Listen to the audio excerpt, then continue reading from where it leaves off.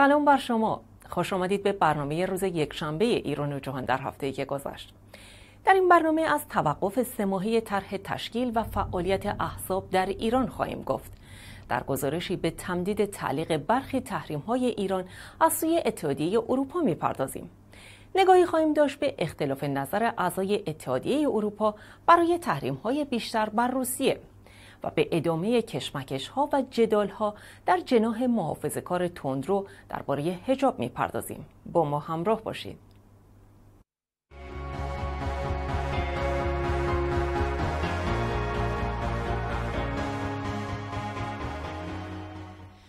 سخنگوی وزارت امور خارجه جمهوری اسلامی با استقبال از انتخاب فعاد معصوم به عنوان رئیس جمهوری جدید عراق این انتخاب را گام مثبت و ارزنده‌ای در چارچوب فرایند سیاسی عراق توصیف کرد. پس از ماها مذاکرات پرتنش بالاخره پارلمان عراق روز پنجشنبه فعاد معصوم را به مقام ریاست جمهوری برگزید. مرزیه افخم پس از انتخاب فواد معصوم به عنوان رئیس جمهوری جدید عراق از سوی پارلمان این کشور گفت این مسیر سیاسی در سایه وحدت ملی و تمامیت ارزی این کشور به طور کامل و در زمانبندی مورد نظر و قانونی خود تکمیل شود. خانم افخم افزود توجه همزمان عراق به مبارزه با تروریسم و روند سیاسی نشانگر هوشیاری عراقی ها نسبت به شرایط کنونی این کشور و لزوم اتخاذ تدابیر همه جانبه برای عبور از بحران است. پارلمان عراق روز پنجشنبه فعاد معصوم از کردستان عراق را به ریاست جمهوری انتخاب کرد پارلمان عراق با 211 رأی از مجموع 228 رأی نمایندگان فعاد معصوم را به ریاست جمهوری برگزید. فعاد معصوم عضو جناح اتحاد میهنی کردستان در مجلس عراق است. بدین ترتیب آقای معصوم جانشین جلال طالبانی می شود. بر اساس قوانین عراق سه پست ریاست مجلس، ریاست جمهوری و نخست وزیری باید به ترتیب به یک سنی مذهب، یک کرد و یک شیعه مذهب داده شود. انتخاب فواد مسوم گام دیگری است در راستای پایان دادن به خلع قدرتی که ماهاست بر دولت عراق حاکم است. هفته گذشته نمایندگان پارلمان سلیم جبوری سنی مذهب را برای ریاست مجلس عراق انتخاب کردند. ولی به نظر می رسد که برای انتخاب رئیس دولت جدید به مدت زمان بیشتری نیاز باشد. زیرا نوری مالکی بر یک دور دیگر نخست وزیری خود پافشاری می کند در همین حال آقای مالکی نخست وزیر عراق در دیدار با اعضای شورای استانداری استان نینوا اعلام کرد دولت عراق بر اخراج گروه های تروریستی از شهر موسل و نجات ساکنان آن از گروه های جنایتکار مصمم است. نخست وزیر عراق گفت آنچه که در موسل رخ داده نه به دلایل امنیتی بلکه به دلایل سیاسی بوده است و سقوط این شهر به دلیل سیاسی است و نه به دلیل امنیتی. و در ادامه افزوده دولت آماده هر گونه حمایت از ساکنان استان نینوا و اشایر آن برای مبارزه با تروریسم و داعش است. وی تاکید کرده باید هرچه سریعتر در دو رنج مردم برای حل مشکلات آنها پایان یابد. نوری مالکی نخست وزیر عراق همچنین روز پنجشنبه ژنرال لوید اوستین فرمانده نیروی مرکزی آمریکا را در دفترش در شهر بغداد به حضور پذیرفت. وی در این دیدار تاکید کرد عراق نیازمند همکاری بیشتر با آمریکا در زمینه نظامی و تسلیحاتی است. فرمانده نیروهای مرکزی آمریکا نیز آماده کشورش را برای حمایت از عراق برای شکست تروریسم اعلام کرد. عراق در بحران عمیق سیاسی به سر می‌برد. و شبه نظامیان تروریست دولت اسلامی عراق و شام از همین بحران و خلع سیاسی استفاده کردند تا با اشغال بخش بزرگی از شمال کشور نیروهای خود را به پشت دروازه های بغداد برسانند. بانکیمون دبیر کل سازمان ملل متحد روز پنجشنبه 24 ژوئیه وارد بغداد شد و با نوری مالکی نخست وزیر سلیم جبوری رئیس مجلس و دیگر سیاستمداران درباره تشکیل یک دولت گفتگو کرد و خواستار تشکیل دولت وحدت ملی شد. طرح تشکیل و فعالیت حزب و گروه های سیاسی پس از یک هفته کشمکش با تصویب نمایندگان مجلس برای سه ماه مسکوت ماند. این طرح از هفته پیش در دستور کار نشست های علنی مجلس قرار گرفته بود. نمایندگان مجلس شورای اسلامی با 132 رأی موافق از مجموع 216 نماینده حاضر با مسکوت ماندن طرح نحوه تشکیل و فعالیت احزاب و گروه های سیاسی به مدت سه ماه موافقت کردند تا کمیسیون شوراها و امور داخلی کشور به عنوان کمیسیون تخصصی برخی ابهامات و اشکالات موجود در این طرح را اصلاح کند. به گزارش ایرنا در حالی که دوازده ماده از طرح نحوه فعالیت احزاب و گروه های سیاسی در هفته های اخیر بررسی شده بود نمایندگان تصمیم گرفتند به منظور رفع ابهامات و کاستی ها این طرح به مدت سه ماه مسکوت بماند و کمیسیون مربوط اصلاحات لازم را انجام دهد. پیشتر کمال الدین پیرمعزن نماینده اردبیل در مجلس نیز با استناد به اصل 26 قانون اساسی گفت هیچ کس را نمی‌توان از فعالیت در احزاب منع کرد. گفتنی است نمایندگان مجلس شورای اسلامی روز 23 تیر ماه بخشهایی از طرح فعالیت احزاب و گروه های سیاسی را تصویب کردند. مطابق این مصوبه احزاب متقاضی پروانه از جمله باید در مرامنامه و اساسنامه خود سراحتا التزام خود را نسبت به قانون اساسی و اصل ولایت مطلقه فقیه اعلام کنند. یدالله تاهر نژاد عضو شورای مرکزی حزب کارگزاران سازندگی روز دوشنبه در گفتگو با ایرنا درباره طرح نحوه فعالیت احزاب در مجلس گفت جهتگیری مجلس در ارائه طرح و تعجیل در طرح زود هنگام در صحن علنی مجلس و مجموعه بندهایی که در این طرح آمده است به نوعی بیانگر حرکت انقبازی مجلس در راستای فعالیت سیاسی مردم و محدود کردن آن است. عضو شورای مرکزی حزب کارگزاران سازندگی در ادامه به بندهایی از این طرح اشاره کرد و گفت مواردی مانند انگشت نگاری و ارائه گواهی نداشتن سوء پیشینه اعضای احزاب همچنین تصمیم گیری کمیسیون ماده ده احزاب درباره انحلال احزاب و التزام عملی به ولایت فقیه با توجه به اینکه احساء آن کار آسانی نیست روی کرده تهدیدی دارد. همچنین حسین میر محمدی نماینده گل پایگان در مجلس خواستار حذف شرط عدم سوء پیشینه کیفری از شرایط عضویت در حزب شده بود که نمایندگان به پیشنهاد او رأی ندادند. بر اساس این طرح متقاضیان عضویت در احزاب باید عدم سوء پیشینه کیفری موثر را نیز ارائه کنند. در همین حال شورای هماهنگی جبهه اصلاحات با ارسال نامه‌ای به علی لاریجانی رئیس مجلس شورای اسلامی نسبت به این طرح انتقاد کرد و از بایگانی شدن سه ماهه آن هم تقدیر کرد. این جبهه نوشت این طرح مخالف کارویژه اساسی نهادهای مدنی و فلسفه مشارکت گسترده مردم در تعیین سرنوشت خیش و مغایر با توسعه سیاسی و روح حاکم بر قانون اساسی و ناقض حقوق شهروندی است. این جبهه همچنین خواستار جلوگیری از هر گونه شتاب زدگی برای تصویب طرح مذکور شد. پس از انقلاب 1357 جز دوره کوتاه دو ساله که فعالیت احزاب در ایران تقریبا آزاد بود همواره احزاب منتقد و مخالف ارکان نظام جمهوری اسلامی به ویژه منتقد به ولایت فقیه در تنگنا به سر برده و اغلب آنان از فعالیت آزاد در ایران منع شدند و اعضای آنان با تعقیب قضایی به زندان افتادند. پس از اعتراضهای گسترده سال 88 در واکنش به نتیجه انتخابات بحث برانگیز ریاست جمهوری آن سال برخی از حزبهای منتقد درون نظام همچون جبهه مشارکت ایران و سازمان مجاهدین انقلاب اسلامی از فعالیت منع شدند. اتحادیه اروپا مدت تعلیق برخی تحریم های ایران را تا 24 نوامبر سوم آذر ماه تمدید کرد. این تصمیم پس از توافق ایران و گروه پنج به علاوه یک برای تمدید مدت مذاکرات ای تا سوم آذر ماه گرفته شده است. در همین حال یک مقام سازمان توسعه تجارت ایران از رشد 20 درصدی صادرات ایران به اروپا طی دو ماهه نخست سال جاری خبر داد. اتحادیه اروپا تعلیق برخی از تحریم های وضع شده علیه ایران را که از بهمن پارسال اجرایی شده بود برای چهار ماه دیگر تمدید کرد تا گفتگوهای تهران و پنجه به علاوه یک برای دستیابی به توافق نهایی و جامع به نتیجه برسد.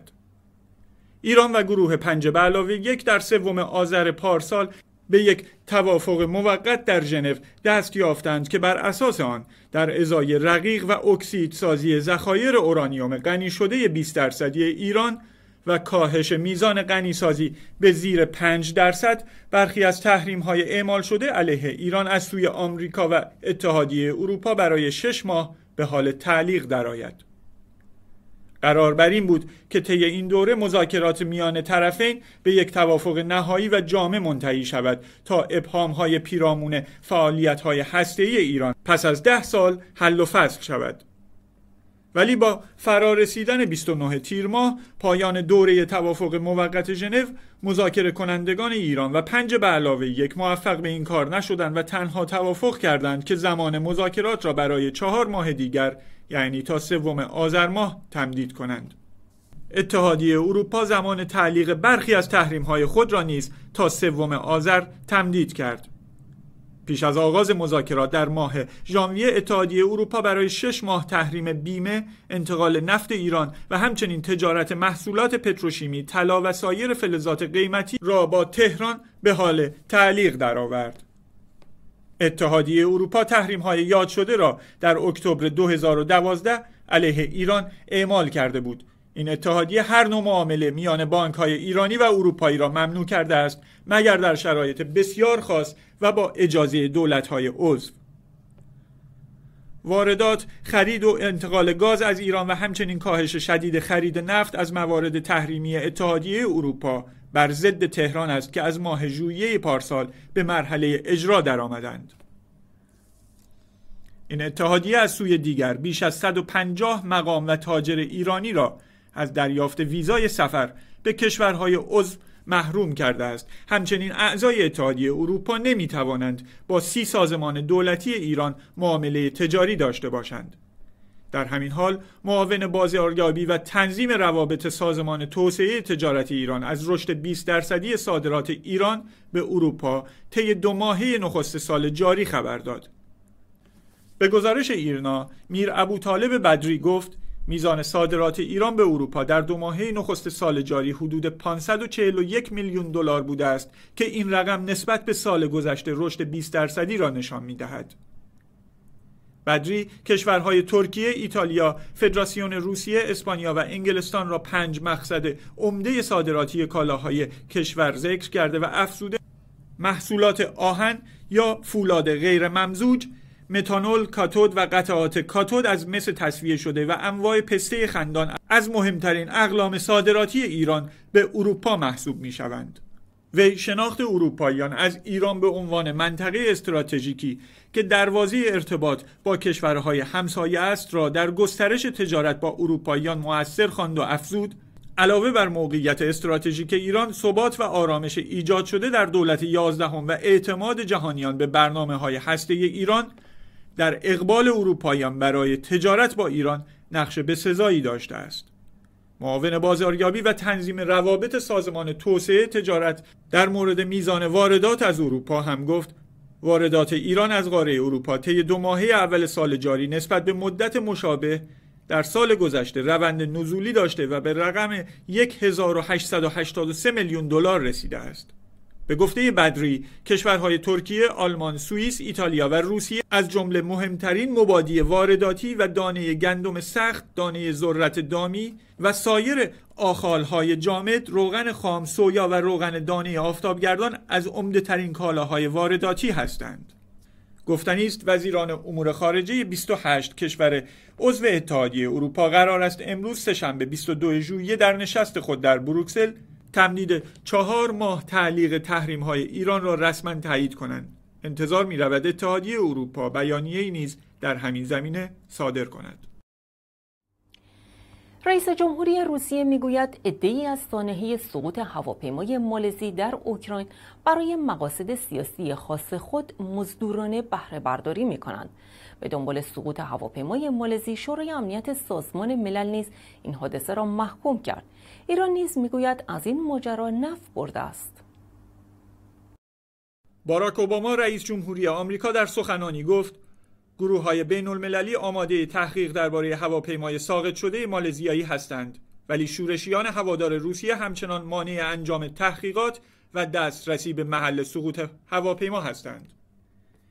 وی جدایی طلبان اوکراینی را متهم کرد که در حال جابجایی شواهد و اجساد مسافران از محل سقوط هواپیما هستند. او گفت که چنین اقداماتی این سوال را پیش می کشد که آنها دقیقا به دنبال پنهان کردن چه چیزی هستند. در همین حال ولادیمیر پوتین رئیس جمهور روسیه نیز افرادی که روسیه را به دست داشتن در سرنگونی هواپیمای مالزی متهم می کنند را عوامل مزدور دانست او مدعی شد که روسیه همه همکاری های لازم را انجام داده تا تیم بازرسان بتوانند دلایل رخ دادن این فاجعه انسانی را بررسی کنند. رئیس جمهور روسیه همچنین گفت هیچ کس نمی‌تواند از وقایع اوکراین برای اینکه روسیه را متهم به سرنگونی هواپیما کند به شیوه مزدورانه سوء استفاده کند. ولادیمیر پوتین از سوی جامعه جهانی تحت فشار جدی است که جدایی طلبان شرق اوکراین را که از سوی روسیه حمایت می‌شوند راضی کند تا به بازرسان بین المللی اجازه حضور بدون محدودیت در منطقه را دهند تا علل سرنگونی هواپیمای مالزی را که 295 کشته بر جا گذاشت بررسی کنند. وزارت دفاع روسیه همچنین اعلام کرده است که سیستم ضد هوایی که گفته می شود جدایی طلبان هوادار روسیه با استفاده از آن هواپیمای مالزیایی را هدف قرار دادند در اختیار شورشیان قرار نداده است. اما دولت آمریکا روز یک شنبه مدعی شد که دلایل محکمی دارد که نشان می‌دهند جدایی طلبان شرق اوکراین با موشکهای روسی این هواپیمای مسافربری را سرنگون کردند. جان کری وزیر امور خارجه ایالات متحده آمریکا گفت روسیه از جدایی طلبان حمایت می کند روسیه سلاح در اختیار آنها قرار می دهد روسیه به این شورشیان آموزش نظامی می دهد جدایی طلبان شرق اوکراین بالاخره روز یکشنبه به نیروهای امدادی اجازه حضور در منطقه سقوط هواپیما را دادند. امدادگران توانستند اجساد 192 تن از قربانیان سرنگونی هواپیما را در منطقه‌ای به وسعت 109 کیلومتر پیدا و جمع آوری کنند. این اجساد با یک قطار آزم هلند شد. در رویدادی دیگر محمد علی ایلخانی سرپرست فرودگاه های ایران می‌گوید سقوط هواپیمای مالزیایی در اوکراین موجب نگرانی شرکت های هواپیمایی خارجی و علاقه آنها به تغییر مسیرهای پرواز به ایران شده است. آقای ایلخانی افزوده در صورت افزایش پروازها از فضای ایران سالیان رقمی بالغ بر 50 میلیون دلار به درآمدهای کشور اضافه می شود سرپرست فرودگاه های ایران گفته است به دلیل ارتباط این مسئله با امنیت کشور شورای عالی امنیت ملی و ستاد کل نیروهای مسلح باید با این امر موافقت کنند. شورای امنیت سازمان ملل به اتفاق آرا در قطنامه ای سرنگونی هواپیمای مالیزیایی را محکوم کرد. این قطنامه از گروه های مسلح خواسته است اجازه دسترسی امن کامل و نامحدود به محل سرنگونی هواپیما را بدهند. این قطنامه همچنین خواستار دسترسی بدون مانع بازرسان بین المللی به این محل شده است. یک فروند هواپیمای مسافربری خط مالزی شامگاه پنجشنبه هفته گذشته در حالی که از هلند آزم مالزی بود با شلیک یک موشک زمین به هوای باک در نزدیکی مرز روسیه و اوکراین سقوط کرد. در جریان این حادثه 298 مسافر و خدمه هواپیمای یاد شده کشته شدند. وزیران خارجه کشورهای عضو اتحادیه اروپا روسیه را در رابطه با سقوط هواپیمای مسافربری مقصر می‌دانند اما برای اتخاذ تحریم های تازه علیه این کشور هم نظر نیستند فرانسه بر فروش کشتی های جنگی به روسیه پافشاری می کند. نشست وزیران خارجه 28 کشور عضو اتحادیه اروپا روز سهشنبه 31 تیر بدون چشمانداز مشخصی در رابطه با تحریم روسیه به پایان رسید. کاترین اشتون هماهنگ کننده سیاست خارجی اتحادیه اروپا پس از اتمام این نشست در جمع خبرنگاران تاکید کرد که در حال حاضر تشدید تحریم ها علیه روسیه مطرح نیست. در حالی که فیلیپ هاموند وزیر خارجه بریتانیا و همتای لهستانی وی رادوسلاف سیکوروسکی خواستار برخورد شدید با روسیه هستند اتریش و ایتالیا با تحریم های تازه به شدت مخالفند زیرا با روسیه در زمینه انرژی همکاری گسترده ای دارند و مایل به تیرگی روابط خود با این کشور نیستند. وزیران خارجه اتحادیه اروپا حتی در زمینه تحریم فروش جنگ افزار به روسیه نیز به توافق نرسیدند. بیش از همه فرانسه با چنین اقدامی مخالف است. فرانسه با پافشاری بر اجرای قرارداد کنونی خود با روسیه بر فروش دو ناو جنگی به قیمت یک میلیارد و دویست میلیون یورو به این کشور اصرار می‌ورزد. یکی از این دو کشتی آماده شده و قرار است در ماه اکتبر به روسیه تحویل داده شود. کشتی دوم هنوز در مراحل اولیه ساخت است. فرانک والتر شتاینمایر وزیر خارجه آلمان هم با تحریم های سختتر علیه روسیه موافق نیست اما همواره تاکید می کند که روسیه باید پشتیبانی از جدایی طلبان اوکراین را پایان دهد و مرزهای خود را به روی آنان ببندد. همزمان با نشست وزیران خارجه اتحادیه اروپا این خبر منتشر شد که باقی مانده های اجساد صدها تن از قربانیان فاجعه هوایی شرق اوکراین به شهر خارکوف که تحت کنترل دولت اوکراین است منتقل شدند.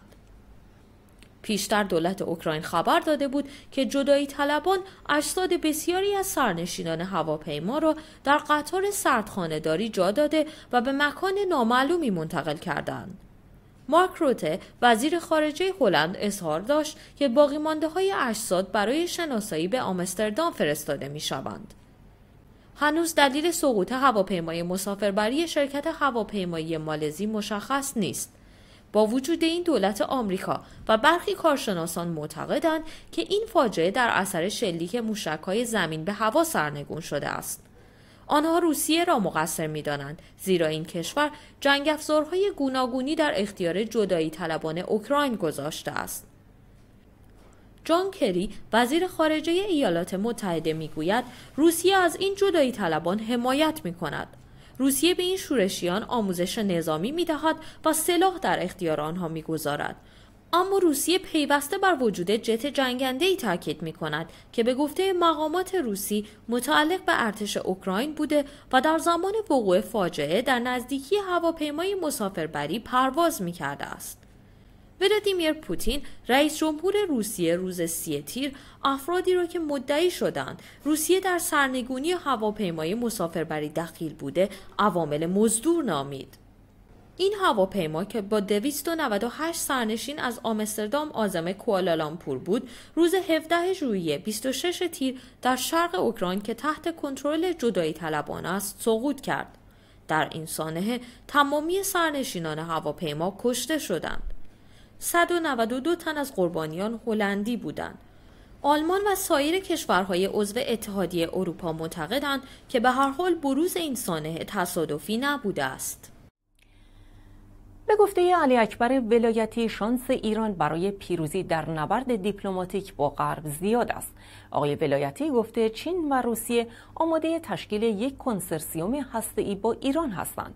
ظریف هم بار دیگر تاکید کرده ایران از خواست خود نمی‌گذارد.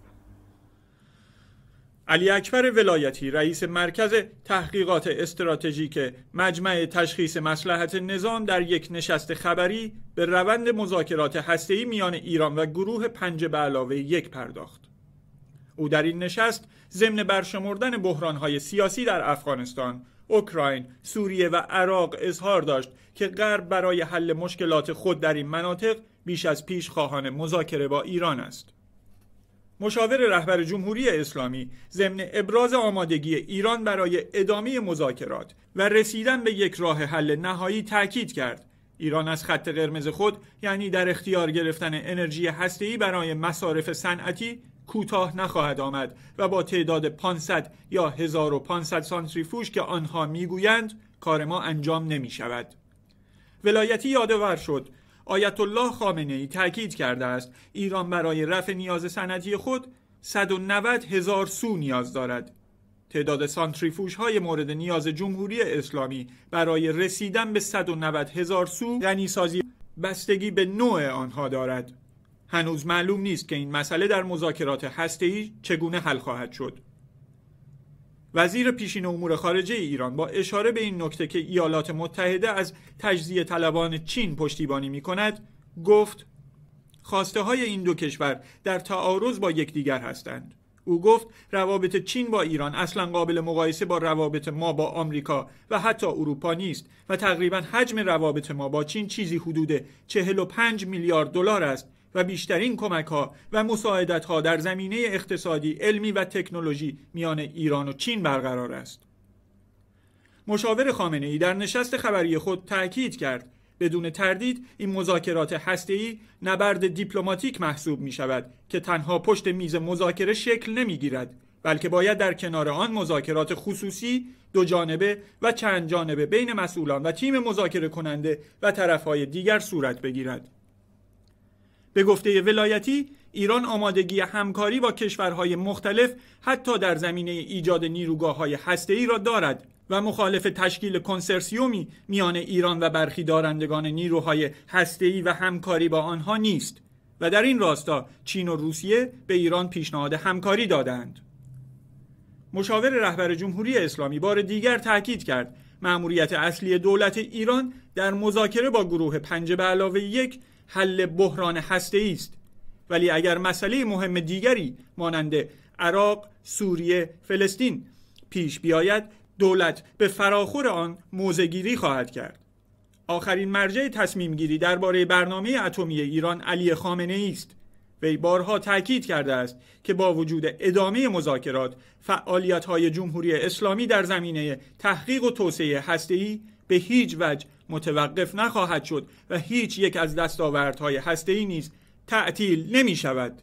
پیش از نشست خبری ولایتی محمد جواد ظریف وزیر امور خارجه جمهوری اسلامی در این زمینه اظهار نظر کرده بود به گفته ظریف اختلافات میان طرفهای مذاکره بر سر غنیسازی اورانیوم نیست زیرا اصل موضوع پذیرفته شده و غنیسازی در ایران انجام خواهد شد اما راجع به میزان و تعداد هنوز بحث وجود دارد ظریف با تاکید بر اینکه ایران اهل بازی مذاکراتی نیست گفت بیش از حقوقمان نمی‌خواهیم و از حقوقمان هم کوتاه نمیآییم.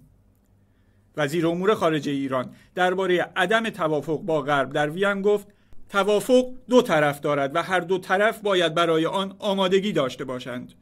ما با هدف رسیدن به توافق به مذاکرات رفتیم اما این کار برای طرف مقابل که شش کشور هستند سختتر است. به گفته ظریف دور بعدی مذاکرات در اوایل سپتامبر خواهد بود اما درباره مکان آن هنوز تصمیمی گرفته نشده است.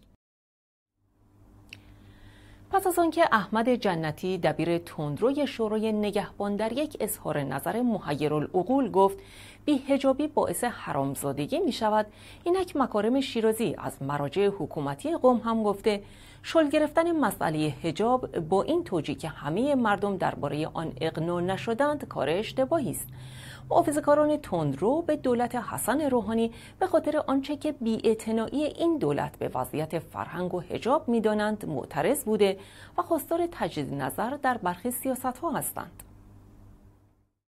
ناصر مکارم شیرازی از مراجع تقلید حکومتی قوم از کسانی که درباره موضوعهایی مانند هجاب و افزایش جمعیت مخالف فشار آوردن بر شهروندان هستند به شدت انتقاد کرد. مکارم گفت این روزها عدهای اصرار دارند امر به معروف و نهی از منکر را بیرنگ و کمرنگ کنند. تعابیر عجیبی می کنند که در مسئله هجاب شما مردم را اغنا کنید که هجاب خوب است. فشار نیاورید. در افزایش جمعیت مردم را اغنا کرده و فشار نیاورید تا مردم قانع شده و افزایش جمعیت صورت گیرد. این مرجع تقلید حکومتی در ادامه پرسید چرا درباره مسائلی مانند تخریب جنگل ها به متخلفان فشار میآورند و برای آنها مجازات سنگین تعیین می کنند اما درباره برخی دیگر از موضوعها از اقناع صحبت می کنند شما مردم را قانع کنید که جنگل ها سرمایه است. قانع کنید که مالیات برای اداره مملکت لازم است. چرا فشارهایی میآورید که پدر برخی در میآید؟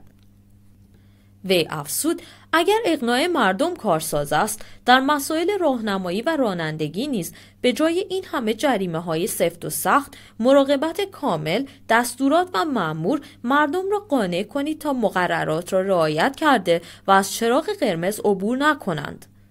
ظاهرا مخاطب این سخنان رئیس جمهور و برخی از اعضای کابینه دولت یازدهم هستند که بارها از برخورد خشونت آمیز با شهروندان و تجاوز به حریم خصوصی آنها انتقاد کردند. عبدالرزا رحمانی فصلی وزیر کشور هفته گذشته در نشست دبیران ستاد مرکزی سیانت از امنیت حریم عمومی گفته بود که نمی‌توان با فشار و خشونت بیش از حد با مسئله هجاب برخورد کرد. شهین دخت ملاوردی معاون رئیس جمهور در امور زنان و خانواده هم برخوردهای سلبی و تنبیهی برای افزایش میزان باروری را بی سمر خواند و تاکید کرد که با بگیر و ببند و داغ و درفش این کار شدنی نیست. مکارم شیرازی در واکنش به این گونه استدلال ها گفته است کسانی که حرف از اغنا در جاهایی که مایل نیستند می‌زنند در واقع کلاه سر خود می‌گذارند در تمام دنیا مصالح کشور زیر قانون رفته و قانون نیز اعتبار به زمانت اجرایی دارد. قانون را نمی شود گفت هر فردی می خواهد انجام دهد. او با بیان اینکه اغنا کردن فقط در مورد بخشی از مردم اثرگذار است از مسئولان می‌خواهد برای رعایت حجاب و افزایش جمعیت نیز مانند مالیات و جنگل زدایی به مردم فشار بیاورند و نگذارند افراد هر کاری را می‌خواهند بکنند مکارم شیرازی هشدار داده است مسئله بیهجابی به جاهای رسوا و خطرناکی می‌رسد. مسائل مربوط به جمعیت به جاهای خطرناک می‌رسد و مسائل دیگر که نمی‌خواهم عرض کنم. وی در پایان هم شل کردن مسئله هجاب به بهانه اقناع مردم را اشتباه بزرگی خوانده و تاکید کرده در مورد پوشش زنان بهترین راه نیز این است که دولت از ادارات و نهادهای زیر نظر خود شروع کند. پیش از مکارم شیرازی احمد جنتی، احمد علم الهدا و احمد خاتمی نیز در اظهار نظرهای تندی خواستار مقابله با بدهجابی شده بودند. همه ساله با شروع فصل گرما در ایران مقامات تندروی کشور نسبت به این موضوع هشدار می‌دهند و گاه سخنان العقولی را بیان می کنند. برای نمونه جنتی گفته بود هجاب مانع حرامزادگی می شود و تلویزیون ایران هم در برنامه هایی گفته بود که بیهجابی زنان را زشت می کند. حسن روحانی چندی پیش از دخالت در حریم خصوصی شهروندان انتقاد کرده و گفته بود اینقدر در زندگی مردم مداخله نکنید ولو به خاطر دلسوزی. بگذاریم مردم خودشان راه بهشت را انتخاب کنند. نمی‌توان با زور و شلاق مردم را به بهشت برد. اظهارات روحانی با واکنش تند شماری از امامان جمعه و روحانیون تند رو روبرو شد. تازه ترین آمارها حکایت از وجود بیش از یک میلیون پناهجوی سوری در ترکیه دارد. بنابر پیش بینی ها این تعداد پناهجو تا پایان سال جاری میلادی به یک و نیم میلیون نفر خواهد رسید. مایستان بختیاری خبرنگار ما از ترکیه گزارش می‌دهد. طولانی شدن بحران در سوریه جدا از مصیبت هایی که بر دوش مردم این کشور در طی سه نیم سال گذشته قرار داده کشورهای پذیرای آوارگان سوری رو این روزها نیز با مشکلات زیادی هم مواجه کرده. شاید با آغاز نارامی ها در سوریه کمتر کسی گمان می برد تا به این حد بحران در سوریه پیچیده و طولانی بشه. از آغاز نارامی ها در سوریه و برخورد خشونتبار رژیم اسد با شهروندان سوری ترکیه از نخستین کشورهایی بود که با اتخاذ موضع انتقادی در قبال رژیم اسد اعلام کرد از هیچ کمکی به آوارگان سوری دریغ نخواهد کرد. از این رو مرزهای جنوبی این کشور به روی آوارگان سوری گشوده شد و خب در طی سه و نیم سال گذشته شهروندان آواره سوری با اتکاب چنین پشتگرمی از سوی دولت ترکیه به این کشور اومدن اما رفته رفته با طولانی شدن بحران در سوریه ایجاد چنین اقلیتی در دل کشور ترکیه مشکلات زیادی رو بر دوش دولت این کشور قرار داده. در تازه ترین آمار منتشر شده آقای رجب طیب اردوغان روز گذشته اعلام کرد که یک میلیون و هزار پناهجوی سوری در شرایط فعلی در ترکیه زندگی می‌کنن آماری که گفته میشه تا پایان سال میلادی جاری به یک میلیون نفر هم خواهد رسید و به گفته آقای اردوغان هزینه بالغ بر 3 میلیارد دلار بر دوش دولت این کشور قرار داده اما سیاست های دولت ترکیه در حمایت از آوارگان سوری رو برخی از منتقدان دولت نمیپسندند. به ویژه این روزها منتقدان با این عنوان که پذیرش آوارگان سوری امری اشتباه بوده معتقدند ورود آوارگان سوری در دراز مدت تبعات منفی برای ترکیه به همراه خواهد داشت و آرام آرام وجود چنین جمعیتی از پناهجویان سوری بیماری های سیاسی و امنیتی رو به دیگر کشورها هم منتقل می‌کنه منتقدان معتقد هستند از این دیدگاه نارامی ها در سوریه ممکن است حتی به ترکیه هم کشیده بشه. اونها حتی درگیری های پراکنده که میان برخی آوارگان سوری و شهروندان ترک در یکی دو شهر ترکیه اخیرا رخ داده رو از تبعات همین موضوع می‌دونن. اما از آن سو آقای رجب طیب با واکنش به چنین نگرشی گفته محافلی در ترکیه در صدت هستند با ایجاد تنش و ناآرامی میان مردم ترکیه و آوارگان سوری از این موضوع بهره برداری سیاسی بکنند آقای اردوغان گفته که فعلا در شرایط کنونی انتخابات ریاست جمهوری تمایلی نداره که این محافل و اقداماتشون رو افشا بکنه. اما خب اگر مجبور بشه روز این کار رو خواهد کرد. اما در این مسیر اشاره هم بکنیم. دولت ترکیه در طی این مدت بیش از 20 چادر شهر رو برای اسکان آوارگان سوری ایجاد کرده. همینطور مدارسی رو جهت آموزش حدود 5000 کودک سوری فراهم کرده و از لحاظ ایجاد خدمات پزشکی و بهداشتی نیز این خدمات رو در طی سه و نیم سال گذشته بیوقفه ارائه کرده. متاسفانه آنگونه که باید کشورهایی که در بحران سوریه قول همکاری و خدمات رو به این آوارگان و کشورهای میزبان داده بودن تعهداتشون رو تا به الان به انجام نرسوندن.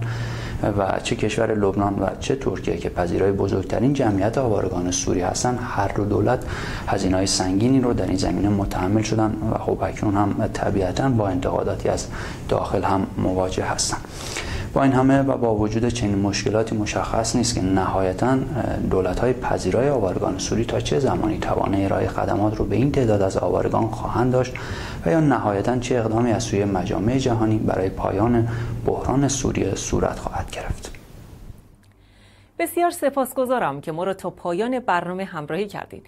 این برنامه همراه با دیگر برنامه های ما را می توانید در وبسایت ما با آدرس ایران فردا دنبال کنید. از طریق این وبسایت ایمیل ما و همچنین صفحه فیسبوک ما. به نشانی facebook.com ایران فردا TV Network با ما در ارتباط باشید و درباره برنامه نظر دهید. منتظر شما هستیم. تا درودی دیگر بدرود.